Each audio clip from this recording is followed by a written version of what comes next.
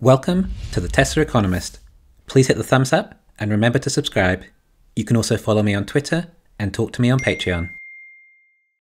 Alright, so what's the point of this robot? Let's explore how this side of the business might play out. Let's work under the assumption that Tesla will sell them to the public and not lease them out. We're told that the purpose of these robots are to do repetitive, boring, and dangerous tasks. Over time, we expect more versions that will be more advanced and more capable. For example, if we're building a house, we might expect them to do some basic functions, like painting a house, but probably not wire the house to the level of an electrician. The value of these robots will be what applications they're capable of and what jobs they can replace. This will come down to two elements the physical capabilities of the robots and the intelligence of Dojo. So, jobs like mining or construction are more physically demanding than compared to a doctor. The physical jobs will require more evolution of the mechanics of the robot compared to a doctor that can diagnose through software and hardware, aka Dojo. Now, plug this back into the value of these robots. Well, what's the value of replacing a doctor's job? And yes, let's just ignore all the regulation in the health industry in this scenario for now. The mechanical requirements of a robot to diagnose you with an illness are going to be minimal. Now, I believe there'll be accessories for these robots. For example, a medical robot could check your vitals, take blood tests, and all sorts of ways to monitor you. And the robot might have replaceable arms for different applications. All the tests can then be uploaded to Dojo, where one day there may be billions of various tests with associated diagnoses. Dojo would then report back to the robot, possibly more or less in real time, and the robot doctor will then be able to assign extremely high probabilities as to potential ailments. The robot will also know what treatments will have the most likely chance of curing you. But unlike current medical doctors that try to treat the symptoms more than the underlying cause, Perhaps these robots can also track your nutrition and lifestyle too, and find out what you might be deficient in. Again, there could be a surgeon doctor where the mechanical requirements would be minimal. The robot surgeon would be highly precise to levels that humans are incapable of. I'm sure you could easily value a doctor robot at well over a million dollars. As for more physical jobs, the robots don't get tired, they don't get sore, they don't need breaks. Apparently, the robot can deadlift 150 pounds. That's actually a reasonable amount, more than the average human can lift and it can carry 45 pounds, which is suitable for many applications. Of course, they're limited by 5 miles an hour too, which could slow them down on a construction site and various other scenarios. But perhaps Dojo will take some time to learn these expertise, and it will require training, perhaps as a doctor's assistant to start with. On the other hand, doctors don't really want to train something that will take their job, and these are people's lives. You don't want a robot to prescribe the wrong medication that could potentially be fatal. So, what might be the initial application? Perhaps we should look at jobs where less expertise are required. Perhaps running a shop might be more appropriate, at least in commercial purposes to start with. I say commercial purposes as if the robots are initially expensive, then they would need to have applications where they can offer more value than they cost. I think that it's likely to occur in the commercial side rather than domestic use. But even running a store, then the robot needs to become familiar with all these products in the store. If a customer asks for a specific item, then the robot should know exactly how many are in stock along with colours and available sizes. The robot should know where the product is on the shelf too. This would just be stock keeping and probably not too complex. The robot should probably just be able to read the SKUs, shopkeeping units perhaps, and record where each product is located. Of course, customers may move products too, but perhaps that's the job of the robot when there are no customers in the store, to continually manage all the items and keep the store tidy. There'd be no need for a till, you could likely pay directly through the robot itself. Whenever inventory of a particular item is low, the robot can automatically order more. This might not work for stores where customers actually require help from the sales staff on particular items relevant to them. For example, a skincare store, where the customer might ask what moisturizer is suitable for my skin type. I'm also not sure how the robot would learn that over time. Perhaps they'd serve as an assistant first to learn what the other salespeople say, but then why would a store want to pay to train a robot if it's not actually going to increase profit?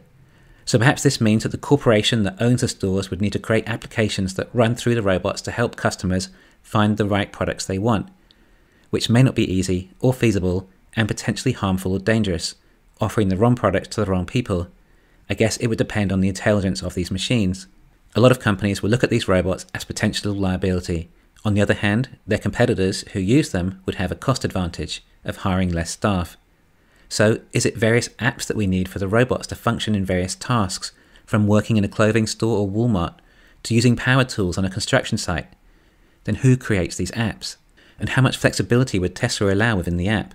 On a construction site, Are you going to let a robot use a nail gun, for example? There'd be plenty of ways in which a robot would have the capabilities to harm a human using power tools. What precautions would Tesla place to stop such a thing? And how could it really be controlled? As Elon says, because you never know. That's the commercial side, but as for the domesticated side, then there's only so much work that can be done around a house. But maybe you don't own your own robot, and the robot just comes in to clean your house every so often, which would be much more feasible than owning it outright. I mean, most people get a cleaner once a week, not daily. But even for a domesticated robot, they could be cooking food with hot oil or boiling water. It's going to take an enormous amount of trust for people to build up until they feel comfortable giving robots such control. I'm not saying the robot will be malicious necessarily.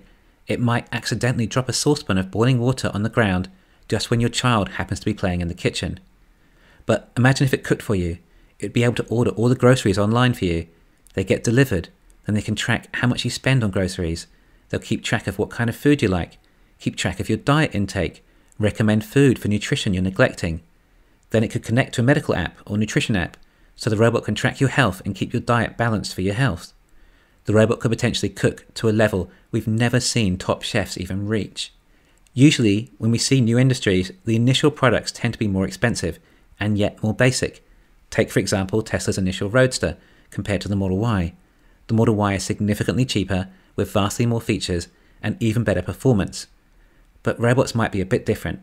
As the features the robots have are to offer you value, you're not going to pay $1 million for something that can only clean your house, no matter how cool it is. Also, businesses charge more because they want to recover a lot of their initial capital expense. However, Tesla probably don't need to worry about recouping capital costs for some time. People are often scared of revolutionary new technologies, generally because they feel threatened their jobs will be replaced. There will likely be Luddites out to destroy these robots.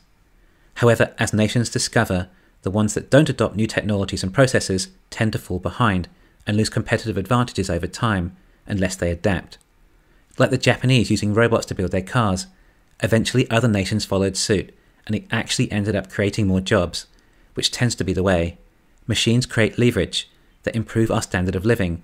It's not a zero sum game, it just grows the economy. These robots won't get tired. They can work weekends, they can work all night. The batteries might need to charge about one hour a day and work the rest of the time. They also work weekends and holidays. They don't get sick, request overtime or pay rises. They can probably work 160 hours a week. That's four times as many hours as a typical human, and possibly working significantly faster and more efficient. Tesla might take ongoing income, like FSD rental. If you want your robo to be connected to Dojo, there may be a $200 a month connection fee or something. This could be argued as the most revolutionary new product we've ever seen, perhaps even including the wheel. To start with, I think they'll have to be fairly basic, as people will be highly suspicious of them first. Tesla's main marketing will be to assure people they are safe. Perhaps there could be a big button on their chests that you can push and it will immediately disable the power. You also want to be able to disable them remotely, perhaps with an app or even an emergency button somewhere in the house. They could presumably charge reasonably fast and thus not need to be charging over the entire night, and could be disconnected from a power source so people feel safe at night. The robots will have cameras, people will be concerned that they're being watched. Its capabilities will be limited initially, as you would only feel it comfortable doing basic tasks, such as cleaning, tidying, laundry, gardening, or assisting in a shop. I think its potential with healthcare would be phenomenal, but I think doctors would have a hard time willing to risk their jobs being replaced. There is so much regulation in healthcare to limit supply of doctors to increase demand, thus increasing their salaries. The medical industry is very slow to adapt to new technologies for this reason. Again, doctors don't want to be replaced with machines. But it would be great to share all the resources and diagnoses of all these doctors in one big brain that could potentially save many lives, or even come up with various cures. Free market economists compare this to how the private medical industry has progressed significantly further, using LASIK eye surgery as their example, and the progress that has made over the decades when compared to the rest of the industry. It would only take one incident where a robot injures a human to potentially kill the entire business, and people decide it's not worth the risk, and perhaps government steps in too. But yes, potentially it could make our lives so much easier and give us that much more leisure time and an improved standard of living now, if the robots are replacing basic jobs, then they may only be worth about $15 an hour or so, perhaps even less than that for some jobs.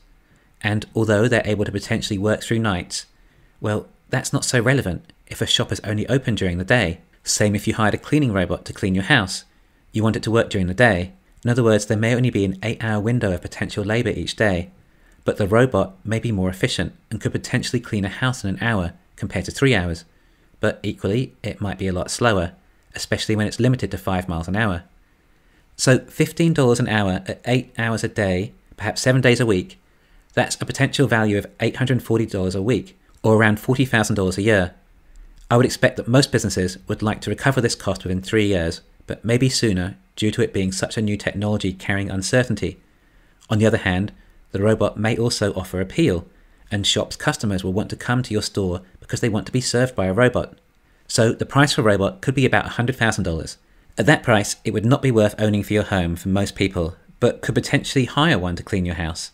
However, some people are rich enough to have live in maids. At $100,000, this might be a cheaper alternative for them still. And if it can save people 10 hours of labour a week, well, some people make hundreds of dollars an hour. Again, people at this level of income could justify the expense. Within time, then with economies of scale, then the cost would reduce and the application potential would increase. You could have your lawns mowed daily, the robot could walk your dog, it could grow your food, do weeding, it could paint your walls, it could go shopping for you, and just about any chore you want so maybe you will be able to find enough tasks for it. Your house will be tidy every day and your garden immaculate. If we leave it at that, then it's still a big jump in our standard of living. Once you start looking at applications like robot nannies, then it might be a slippery slope. Thanks for listening. Please hit the thumbs up and subscribe. You can follow me on Twitter and talk to me on Patreon.